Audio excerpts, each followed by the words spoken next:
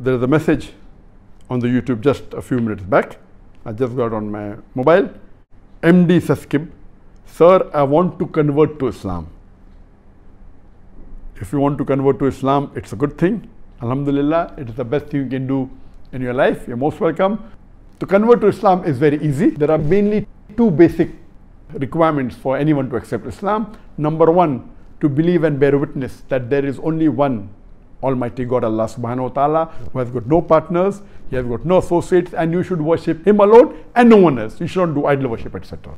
Number two is believe that Prophet Muhammad, peace be upon him, is the last and final messenger of Almighty God. If these two things you accept, then you can enter the fold of Islam and then you keep on practicing Islam, following the five pillars as we discussed. So I'd like to ask you, brother, that I hope you want to accept Islam out of your free will, and I hope that no one is forcing you to accept Islam.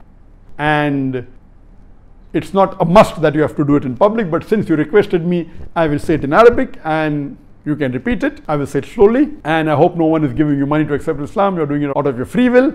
And surely one of the reasons that you accepted Islam may be one of the reasons I mentioned in the answer to my first question. I'll say it in Arabic, brother, and you can repeat it. Ashadu Allah ilaha illallah wa ashadu anna Muhammadan abduhu wa rasuluhu. If you have repeated this, mashallah, you are a Muslim and may Allah accept and may Allah forgive all your past sins, may He convert it into good deeds, and may Allah grant you Jannat al-Firdaus. I'm not used to giving shahada when I cannot hear back the feedback. Maybe the reply is coming on the social media. And I pray to Allah subhanahu wa ta'ala that may you get more knowledge of the deen and may you practice more of Islam and inshallah may we be resurrected together on the day of judgment inshallah.